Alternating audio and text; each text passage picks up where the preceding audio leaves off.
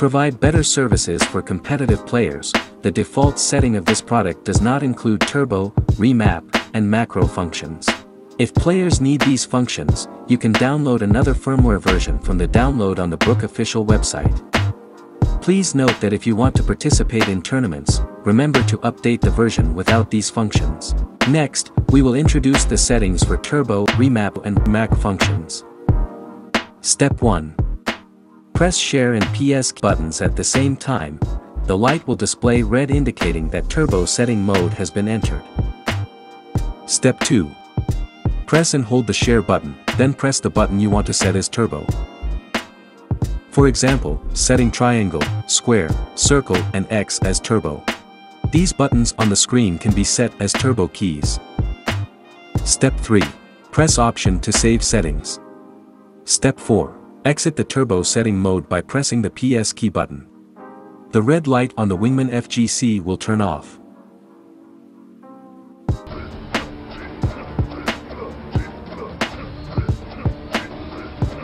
You can also adjust the frequency of turbo. The default value upon factory shipment is 10 rapid presses per second. There are 5 options available for you to choose from, including 5, 10, 15, 20, and 25 rapid presses per second. Step 1.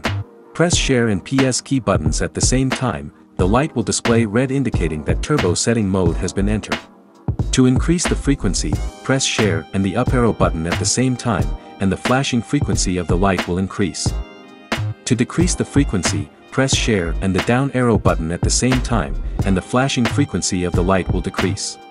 Step 3. Press option to save settings. Step 4.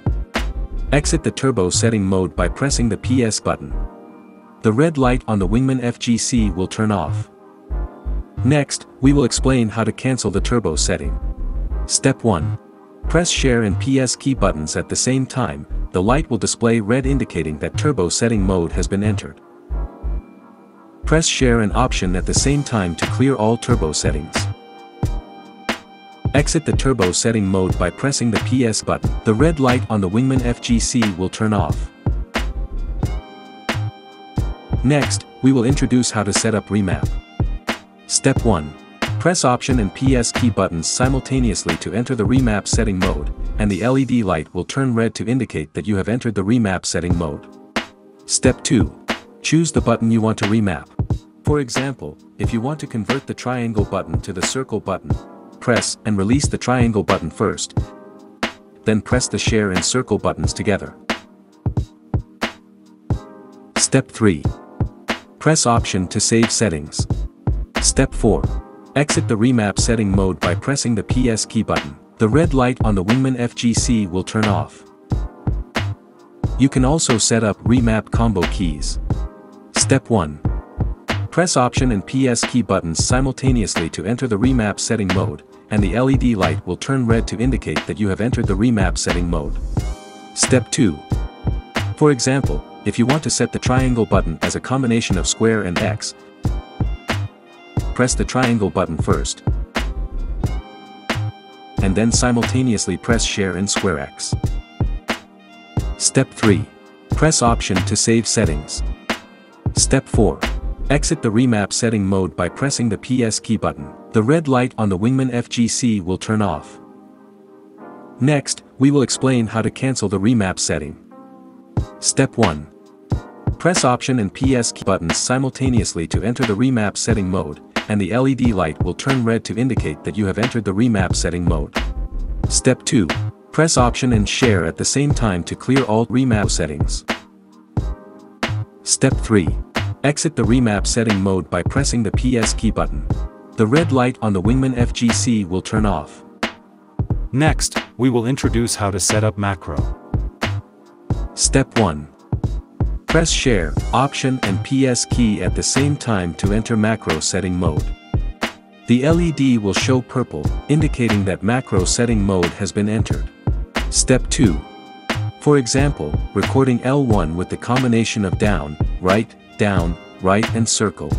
Hold down the share button first, then press the macro key you want to set, release all keys when the red light appears, and start recording your macro settings.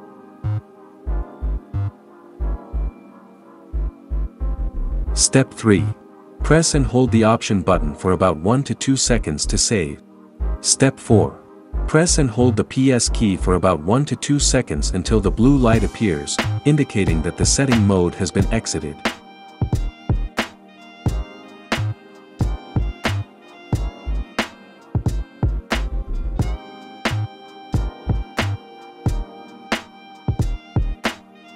Next, we will explain how to cancel the macro setting.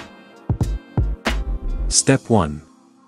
Press Share, Option and PS key at the same time to enter macro setting mode. The LED will show purple, indicating that macro setting mode has been entered. Step 2. Press Share and Option at the same time to clear all macro settings. Step 3. Exit the macro setting mode by pressing the PS button. The red light on the Wingman FGC will turn off. Hope this video helps you understand more in using Wingman FGC. Thank you so much for choosing Brook. See you next time.